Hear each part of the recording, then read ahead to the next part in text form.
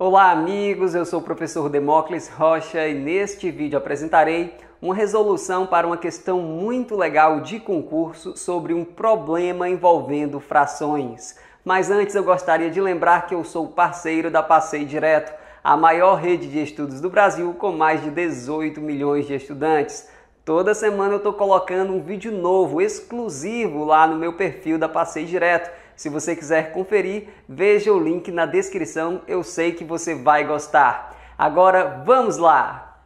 Dois alunos ficaram encarregados de arrumar todos os livros de uma estante. Um deles arrumou três oitavos dos livros e o outro os 90 livros restantes. A quantidade total de livros na estante é de aí você tem os itens. Existem várias maneiras de resolver uma questão como essa. A maneira que eu mais gosto é raciocinar da seguinte maneira. A gente sabe que dois alunos ficaram encarregados de arrumar ali os livros, né, todos os livros de uma estante, e um deles arrumou três oitavos dos livros. O que isso significa? O que significa falar em três oitavos dos livros? Significa algo muito simples. É como se o total de livros tivesse sido dividido ali em oito partes iguais. E três dessas partes correspondem aos livros que foram arrumados por um dos estudantes. Bom, se o total de livros foi dividido, professor, em oito partes iguais e três dessas partes foram arrumadas pelo primeiro estudante, então o segundo estudante arrumou cinco dessas oito partes, concorda? Até porque 3 mais 5 é igual a 8. Então, o total de partes é 8, o primeiro estudante arrumou três dessas partes, então o segundo estudante arrumou cinco dessas partes, beleza? Bom, a gente sabe que esse segundo estudante, o outro estudante, ele arrumou os 90 livros restantes. Essa é a maneira que o enunciado tem de te dizer que a fração 5 oitavos corresponde ali a 90 livros, exatamente. Porque o primeiro arrumou 3 oitavos do total, significando então que o segundo arrumou ali os 5 oitavos restantes. Isto é, essa fração corresponde aos 90 livros restantes. Aí fica muito fácil. Por quê, professor? O que o enunciado pede é a quantidade total de livros na estante. A gente sabe que essa quantidade total foi dividida em oito partes iguais. A gente já sabe que cinco dessas partes correspondem a 90 livros. Aí fica muito fácil para determinar quanto corresponde a uma dessas partes. Pense comigo, cinco partes correspondem a 90 livros.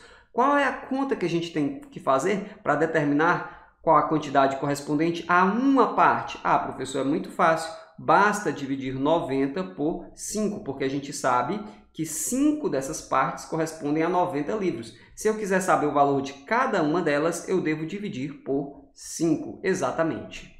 Dividindo 90 por 5, você encontra 18. Isso significa que cada uma das partes iguais corresponde ali a 18 livros. Se uma parte corresponde a 18 livros, três partes correspondem a 3 vezes 18 livros, né? Se você fizer a conta, você vai ver que 3 vezes 18 é 54, beleza? Aí, para concluir, a gente observa que o primeiro estudante, então, arrumou 54 livros, o segundo estudante arrumou 90 livros, aí basta apenas somar. Basta observar que 54 mais 90 é igual a 144.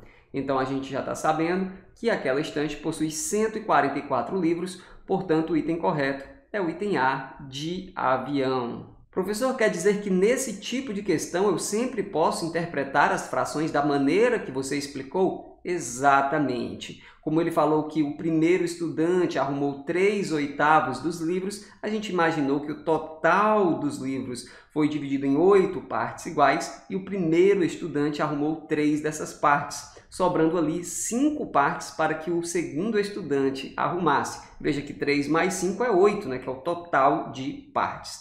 Aí ele disse que o segundo estudante tinha arrumado 90 livros. Então, 5 oitavos do total de livros correspondia ali a 90 livros. 5 dessas partes correspondiam a 90 livros. Dividindo 90 por 5, a gente encontrou o valor de cada uma dessas partes. Por isso que eu escrevi aqui que 1 oitavo nesse problema corresponde aqui a 18 livros.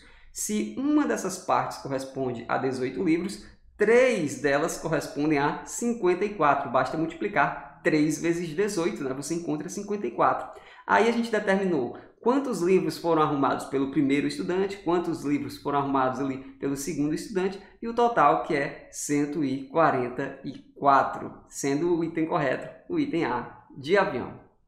Beleza, se você conseguiu entender, deixa aquele like. Se você ainda não conseguiu entender, assista o vídeo novamente e acredite na sua capacidade de aprender. Se você pensou em uma maneira diferente, mais interessante, mais fácil para resolver esse problema, você pode deixar um comentário com o seu raciocínio. Eu vou gostar de ver e sempre ajuda outras pessoas. Galera, se vocês quiserem continuar praticando, tentem resolver essa questão aqui. Um reservatório de água estava com um quinto de sua capacidade. Quando abastecido com 1.760 litros de água, passou a ter 6 oitavos de sua capacidade. Qual a capacidade total desse reservatório? Aí você tem os itens. Legal, né? Também é uma questão de concurso. Se você quiser conferir um vídeo com uma resolução para essa questão, você vai encontrar nos meus enviados lá no meu perfil da Passei Direto, como eu disse, link na descrição. A gente fica por aqui, um abraço e até a próxima. Tchau!